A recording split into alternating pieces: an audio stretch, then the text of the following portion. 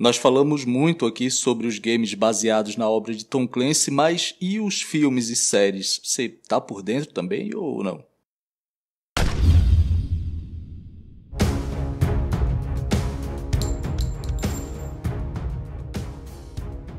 Ok. Beleza, guerreiros? Eu sou William Ruff. Hoje vou falar com vocês aqui sobre o universo baseado na obra de Tom Clancy e os novos filmes que vão estar chegando aí nesse universo, beleza? Mas antes, convido você a deixar o like, compartilhar o vídeo aqui nos seus grupos, pega o link aí, manda lá naquele grupo com seus brothers para poder ajudar na divulgação do vídeo e para poder outras pessoas conhecerem também esse conteúdo, né? Caso seja novo por aqui, claro, se inscreve aí para não perder absolutamente nada. Se você curte gameplays táticas, operações especiais e tudo relacionado aos games de tiro tático, então você está no lugar certo, guerreiro, beleza? Vamos que vamos.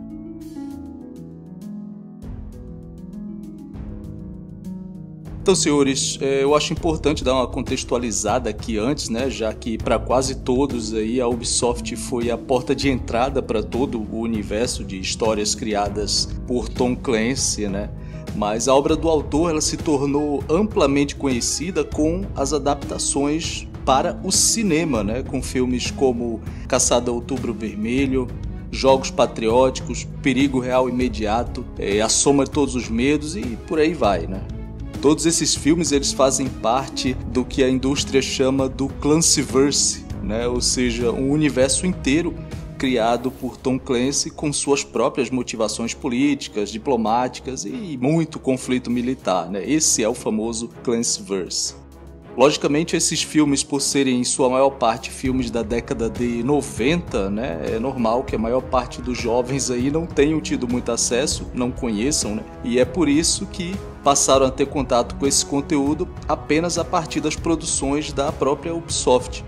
Para quem não sabe, esse envolvimento da Ubisoft com Tom Clancy começou ali por volta de 2000, quando eles compraram um estúdio que foi criado pelo Tom Clancy, que foi o Red Storm Entertainment. Foi criado pelo Tom Clancy, se eu não me engano, em 96.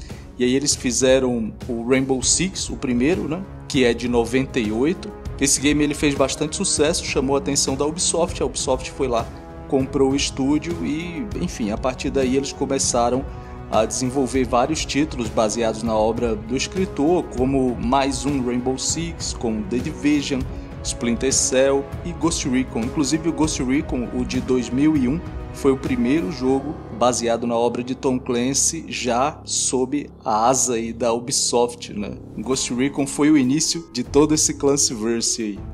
Depois, em 2008, a Ubisoft foi lá e comprou todos os direitos de uso do nome de Tom Clancy para produção de jogos, livros, filmes, enfim, tudo isso. Claro que quando a Ubisoft adquiriu os direitos sobre praticamente todas as mídias, né, eles tinham interesse em explorar esse mercado. E aí eu posso citar aqui alguns títulos bem interessantes que eles desenvolveram, como The Division, o Agent Origins, que foi um curta inspirado aí no universo do The Division e evidentemente foi criado para poder promover o game também, né? Teve o Ghost Recon Alpha, que foi outro curta que serviu para promover outro game, no caso foi o Ghost Recon Future Soldier, né? É, lembrando que esses filmes eles são curta-metragens, ali de até meia hora. Você encontra todos eles facilmente aqui no YouTube, então se você quiser dar uma olhada lá também depois, corre lá e vê. E mais recentemente eles fizeram também o Ghost Recon Wildlands War Within the Curtain para promover o Ghost Recon Wildlands, logicamente, né? Curiosamente, para o Breakpoint não teve nenhum filme para promover. Infelizmente, eu até pensei que eles iam fazer ali com o John Berntal, iam usar o John Berntal ali para poder fazer mais um curta-metragem. Infelizmente, não ocorreu, né? Uma pena. Só lembrando que a Ubisoft ela já fez vários outros filmes para poder promover vários outros games deles, né, e tal, mas aqui eu tô falando especificamente sobre os filmes que foram produzidos com base no Clancyverse, por isso que eu não citei outros filmes como o do Far Cry ou enfim, vários outros aí que eles já fizeram e que sempre ficam muito bons, diga de passagem, né?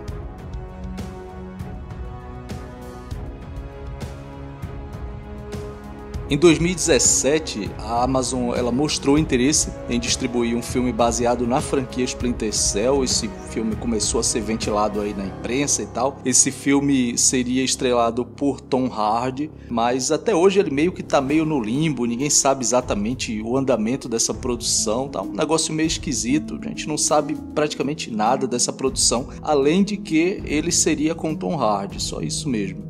Em 2018, a Amazon voltou a, a, entrar numa outra produção do Clancyverse, mas dessa vez não seria um filme, e sim uma série. Que no caso seria Jack Ryan. E essa deu muito certo, já teve duas temporadas, a terceira já foi confirmada, né? Fez bastante sucesso. Caso não tenham visto ainda, inclusive, recomendo muito que vejam. Está disponível no Amazon Prime Video. Realmente vale muito a pena dar uma olhada lá. E aí, claro, o sucesso de Jack Ryan fez brilhar aí os olhos dos produtores de, Hollywood, né, sobre as histórias de Tom Clancy novamente, né? E a Amazon mais uma vez entrou no projeto de um outro filme, agora é o Sem Remorso, filme baseado em outro livro do escritor e que tem tudo para ser outro grande sucesso. Vai ter o Michael B. Jordan, né, o cara lá que fez o Pantera, que fez o Quarteto, era o Tocha Humana no Quarteto, fez o Creed também, né? Então, o cara que tá bem em evidência aí, provavelmente vai fazer muito sucesso esse filme.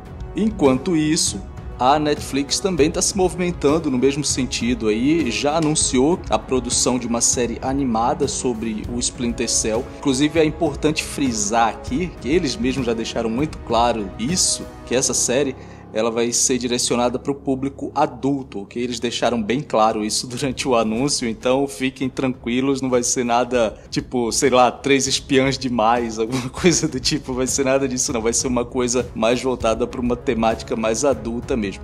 Não tem data de lançamento, mas já foram encomendadas aí pelo menos duas temporadas, cada uma com oito episódios então vai ser meio que como se fossem os jogos ali, só que com animações, né? Sem a interatividade dos games, basicamente.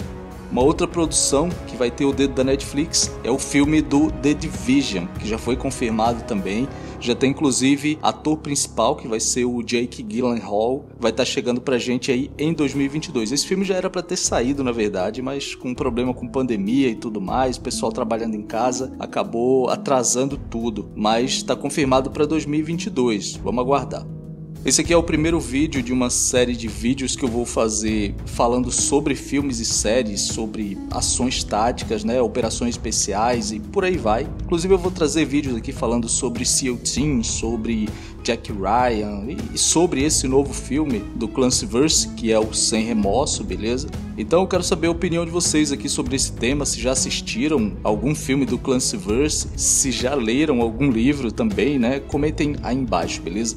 Se quiserem ajudar ainda mais o canal a ganhar recompensas exclusivas por isso, então torne-se membro. Aí você vai estar ajudando bastante o canal a continuar produzindo e ainda vai ganhar vários benefícios por aqui, como por exemplo fazer parte do nosso grupo tático, jogar aqui como você está acostumado a ver com o nosso squad tático aqui e tudo mais. Se você quiser fazer parte desse squad ou aprender a jogar dessa forma também, então torne-se membro, beleza? Clica aqui embaixo no botão seja membro e faça parte da nossa tropa, beleza? Valeu, falou, forte abraço e até a próxima.